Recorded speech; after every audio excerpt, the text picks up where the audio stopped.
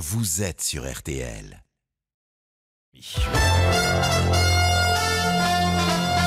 RTL Matin, Stéphane Carpentier. 7h30 le Tout Info avec Aude Vernuccio pour tout entendre de l'actualité de ce 17 juillet. Bonjour Aude. Bonjour Stéphane, bonjour à tous. C'est un bras de fer qui s'annonce entre le gouvernement et le monde du e-commerce. RTL vous le révèle ce matin, la ministre de la Transition écologique Barbara Pompili veut un moratoire de six mois pour éventuellement interdire la création de nouveaux entrepôts.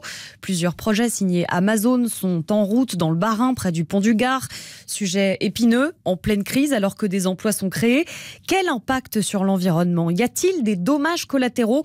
Le débat est déjà vif à Fournaise, petit village au nord-est de Nîmes, Étienne Baudu. Oui, écoutez, ce moratoire, les opposants à cette implantation, Étienne, c'est le temps nécessaire, disent-ils, pour proposer un projet alternatif.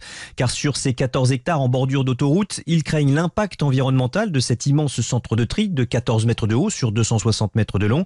Patrick Genet est apiculteur. Pour lui, cette plateforme n'a pas sa place ici. Déjà, on n'a qu'une d'autoroute qui est très empruntée par les touristes. Donc on va mélanger un flux touristique avec un flux des camions, des poids lourds. Alors Là, on est 100% de terres agricoles qui vont être détruites, bétonnées, asphaltées, alors qu'on peut les exploiter. Et en plus, ça permettrait à des jeunes de faire de l'agriculture. Alors le maire de Fournaise, Thierry Boudinot, espère lui que ce moratoire ne concernera pas son projet qui a reçu l'aval de la préfecture et qui est bien avancé.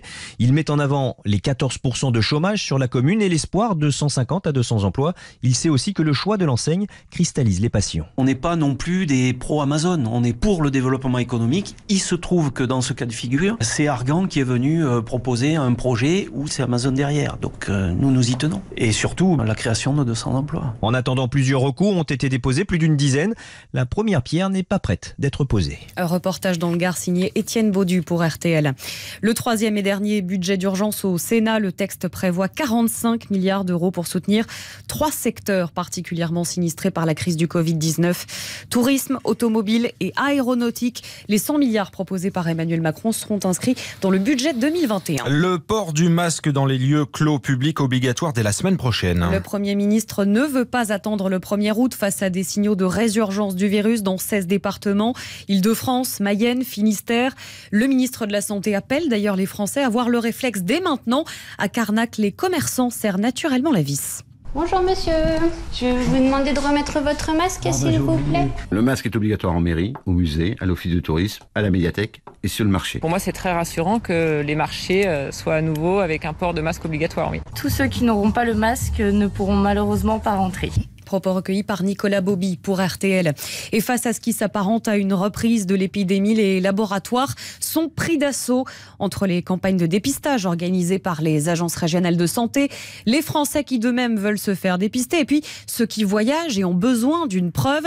Les délais d'attente s'allongent, c'est ce que déplore Bruno Lina, virologue et membre du conseil scientifique on manque de gens pour faire le prélèvement. C'est là euh, que se trouve le goulet d'étranglement et qui fait que certaines personnes euh, doivent attendre euh, plusieurs jours avant de pouvoir avoir un résultat. On joue contre le temps.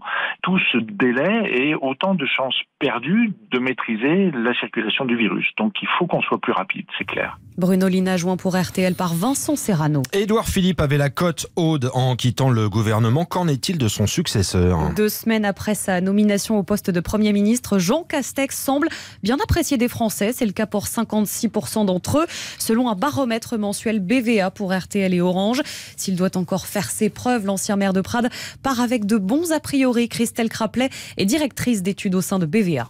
En fait, ce qu'ils nous disent, c'est que voilà, ils ne le connaissent pas encore très bien, ils peuvent pas vraiment se prononcer sur son action, mais ils ont envie un peu de lui laisser une chance. Certains ont aussi un a priori positif avec une image de lui de, de sérieux, d'un homme qui travaille, d'un homme de terrain aussi également. Jean Castex est davantage apprécié des plus âgés. Euh, il a une meilleure cote de popularité auprès de ces derniers, et puis il est aussi très apprécié des sympathisants de droite, euh, où il a plus des deux tiers d'entre eux qui ont une bonne opinion de lui. Donc c'est surtout auprès de ces deux populations qu'il fait ses meilleurs scores. Propos recueillis par Vincent de Rosier pour RTL. En bref, il attendait cette revalorisation. Les pompiers auront 100 euros mensuels de plus sur leur salaire. Le ministre de l'Intérieur, Gérald Darmanin, a signé hier le décret pour augmenter la prime du feu. Trois policiers mis en examen pour homicide involontaire dans l'affaire Cédric Chouvia. Ce livreur à scooter mort d'un malaise cardiaque en janvier, juste après son interpellation. Un quatrième policier a été placé sous le statut de témoin assisté. Et puis une marche blanche organisée demain à Toulouse en mémoire de Christopher Aurier, le frère du joueur de football Serge Aurier, décédé lundi de ses blessures. Il a été touché par une balle à la sortie d'un bar dansant. L'auteur présumé des coups de feu a été mis en examen pour meurtre. Et puis on vous parle ce matin de la menace des ours en Ariège. Le maire d'Ustou interdit la promenade aux randonneurs. Quatre ours seraient présents sur le secteur et selon lui, les troupeaux subissent des attaques tous les soirs. Le maire craint que l'animal s'en prenne désormais aux touristes dans le massif qui surmonte sa commune. Le secteur est habituellement très fréquenté par les marcheurs en cette saison. Inquiétude d'Alain Servat. On est sur un secteur de, de grande randonnée avec l'Espagne donc moi, je veux pas que les, que, que les touristes soient enneigés. Moi, c'est la prérogative de maire. Ça. Il y a vraiment des risques pour les, les, les randonneurs. Ça c'est déjà arrivé, ça, des attaques d'ours sur des promeneurs? Mais bien sûr, c'est arrivé. Surtout une femelle avec deux petits, qui va vouloir défendre ses petits dans un secteur aujourd'hui où on a, on a, du brouillard, où, où on peut se trouver à 10 mètres de la bête pour défendre ses petits. Là, c'est encore. Moi, j'ai arrêté de prier. Après, moi, chacun doit, dans ses responsabilités, euh, peut pas faire plus. Hein.